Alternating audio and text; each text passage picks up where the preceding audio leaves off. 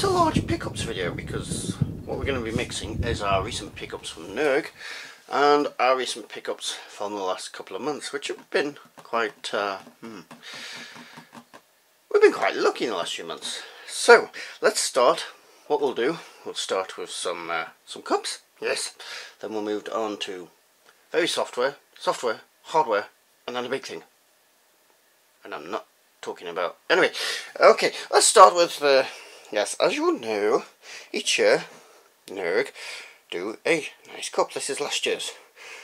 2014 which is now done a year's service and can be honourably retired. Retired. Because we now have the 2015 back to the Nerg mug which is difficult to show because oh yeah there we go. It's got tea in it. Back to the Nerg 2015 yay. Uh, this cup features in my actual Nerg uh, video. In the introduction if you haven't seen uh, my video covering the event links below links below. Or I'll put a card up here and you can go and have a look should you desire. Let's have a nice drink of this lovely tea. Hmm. also fresh out the sink. It's still wet. There's another cup I picked up at Nerg tea Earl Grey hot replicator control. There we go. I actually got a third mug uh, but I've left that at work because I've been to work since doing since doing all these pickups so bugger forgot it. But that can go there. So next what are we going to look at? We're going to look at stuff that's hanging up right t-shirts okay first one is this which you'll see in the intro to my other video I'm gonna have to scroll this past there we go. It's quite big. yes, an old school t-shirt with the Atari joystick in the middle there. Excrement. Excellent. I mean, excellent. Uh, that's number one. Number two.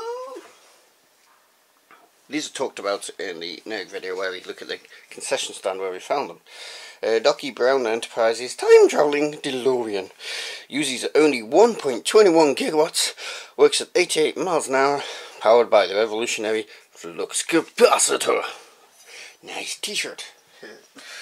And number three, which your mathematical type people may get, everybody else. Ah, just messing my lens cap there, it's sort of balancing all over the place. Okay, uh, rest of you, I have to try and work this out. In the comments below if you can work that out. Yeah. Where's this daft little laugh come from? I have no idea. Uh, wifey found me that one and bought it me before I'd even noticed she was doing such. Uh, so, right. Three nice t-shirts. Next, let's have a look at the handhelds. I think I've just doubled the size of my Nintendo uh, Game Boy collection uh, with stuff that Fluffy bought at Nerg. Starting with Asteroids and Missile Command. Excellent for two pounds.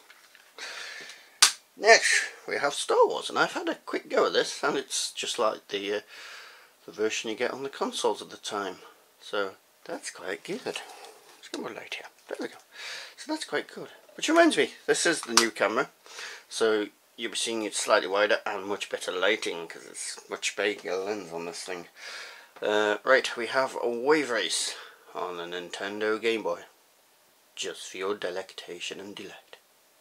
Hey. Stop it with that daft laugh. First, that's only appeared this morning.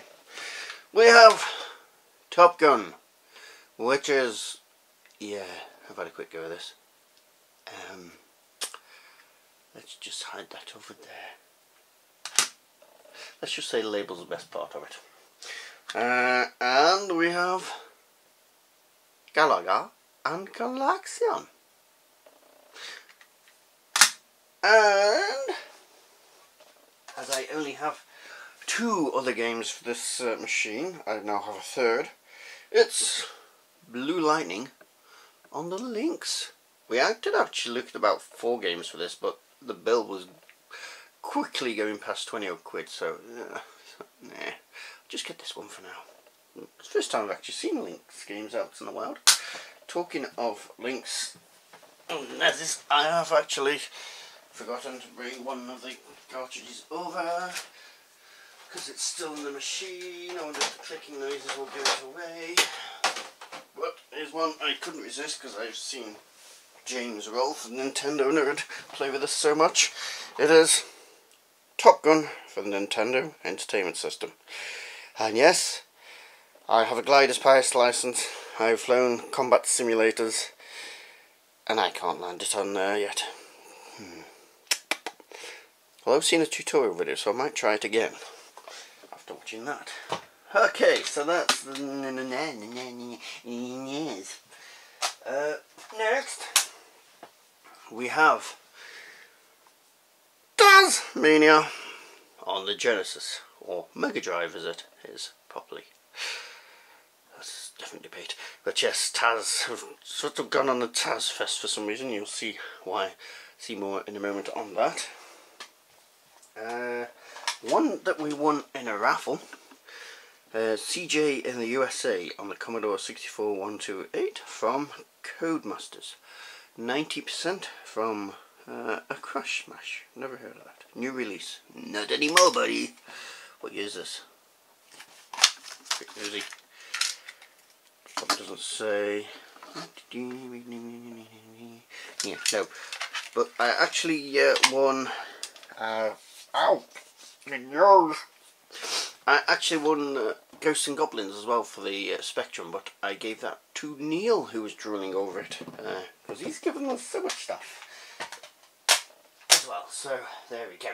Right, uh, sticking with the Mega Drive, Mega Drive. Oh, you can hear one that's bagged. Uh, we got Mortal Kombat. This is a local pickup because uh, wifey was it local? No, this is from Nerg. Uh, wifey already had the case, but no cartridge. So there we go. And yes, it's a bit battered, but we're not too bothered about uh, case as long as the game's in there and it works. And on the Taz Tazfest, Taz, an escape from Mars. I just could not resist this at all, just looking at the, uh, the cover. It was, yeah, un irresistible. Let's uh, just quickly, there we go. Let's take it out and see what's in there. As it wrapped up, uh, possibly assume it's all there. Yes, it's all there. Excrement. Right. So that's my Tazfest. Uh, not quite over. Because we've done something we haven't done in many, many years and that is to buy Sega Master System games. Yep, I haven't bought one of these in a good six, seven years. Uh, Chuck Rock, which I've played on the Amiga. I am not expecting this to be anywhere as good as the Amiga version. Get away, lamp. Uh, but, yes, so that'd be interesting to play and put on the channel. Looks quite good, and somebody's somebody's drilling something somewhere nearby. Got the window open so. And the last of the Taz things, I promise you, is Taz-Mania on the Sega Master System. Lovely artwork once again. Action, apparently. Action! Just in case you thought it wasn't action and it was some boring when you wanted to go and buy a boring game, it warns you that this is not a boring game, this is action, so this is probably not the game for you in those circumstances or something like that.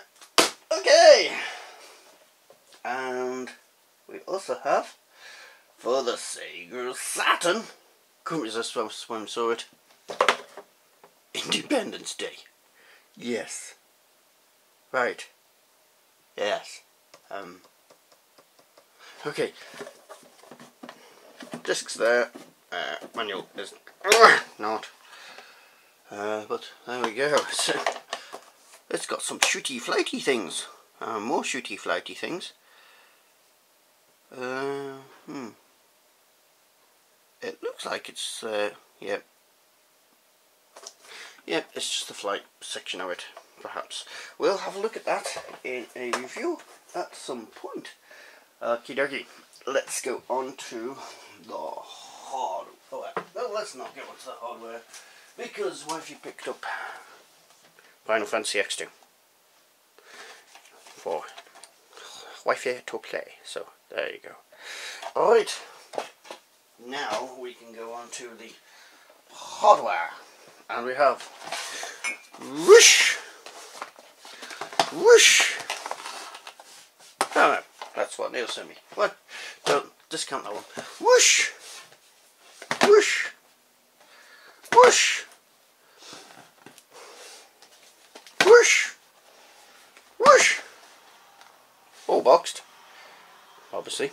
All full pre-formatted for the IBM 1.44 uh, uh, megabyte, mega drive, megabyte uh, floppies, and there's 50 of them there, three pound from a house clearance place.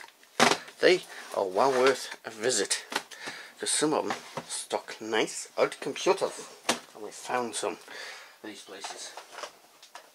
Georgie, also got them. You can never have too many of them, it fits in the screen better that way. When I got this for three quid, was it two? I think it was two actually. And when we got it home, it played pretty badly. Uh, so I cleaned the heads, and now it plays pretty goodly. Uh, only problem is, rewind is a bit weak. Fast forward does not stick down for some reason. Uh, but other than that, it actually works. So, yep, never have too many tape drives like this, external ones. Yay. That's my second one. And something that was uh, we saw boxed at Nerg for forty pounds. We got at a local game shop in Chester Street for eight pounds. Yes, I've always wanted one of these. These are great. Never got around to buying one. So yep, arcade stick for the Mega Drive. Not in perfect condition. but it works. And I can play games like this. Yeah, Mega Fire, Mega Fire, Mega Fire, speed me, yeah, start. So, there we go, £8. That's a saving of £32 over a box one. Yes, good. And last, well, last up here, but not least, uh, is something I probably am going to have to raise the camera for. Hang on even despite its widescreen, it's still going to have trouble seeing this. So let's have a look. Ta-da! Whoop. Yeah, still not all in. Hang on, I'll be right back. This, my friends, is the Mag the Menacer for the Sega Mega Drive. It is not actually this fat, this this small. No, that would be very small machine. It is this big. There we go. It's just a distance from the camera. Optical illusion. Optical illusion. Anyway, uh, yes, this is the Sega Menacer. We all know about the Super Scope for the NES, which I was going to buy, uh, but uh, not as much so many people know about the Menacer because it wasn't as popular uh, because of limited support. But there are some games uh, that are supported that I want to play and I'm going to do a review of if this works, which it should work fine. Uh, it isn't actually in this box, it is over there set up. But I'm not going to show you. I'm not going to show you. What I am going to show you is, yeah, it does come with six games in a cartridge thingy. So, do get some packed in. Apparently these are of varying quality, but it also works with Terminator 2. Terminator 2. So, that is probably worth buying this in the modern day alone, just for that. So, let's go downstairs and look at the last hardware pickup. Right, the uh, last of my pixel pickups is slightly older than the others. No, it's not fluffy. It is this guy. Hmm? Cheeky. Thank you. You're older than me. Yeah? I was on about that. Yeah, of course you were. Mm-hmm. You've got a glow behind you because of the big window. There you go. Yes, it is this. A 1951. Excuse me, we've got a, a suitably styled here doily, which I got bought just for this. His master's voice, a gramophone console. So, this has uh, the radio. And inside here, got a few extra bits in at the moment because uh, got some work to do on it, is the gramophone itself. Now this has been, it wasn't tested by the uh, house cleans place we got, went to because you know, these, this is a valve system. Five or three valves? Um. Yep, it's five valve console and valve systems have a bad habit after they've not been used for decades of catching fire. So they'd never tested it. Uh, we have tested it after cleaning it. Very gingerly tested it and it does work. The radio does work. Uh, we've got some new bulbs here because the light bulbs have blown so some new ones being delivered. And uh, the motors do run but this won't turn because there's a spring oops started activating there there was a spring that's dropped out of the mechanism so I'm going to be repairing that in a video. I'll see if we can repair it and finish cleaning it. So that's the last of pickups.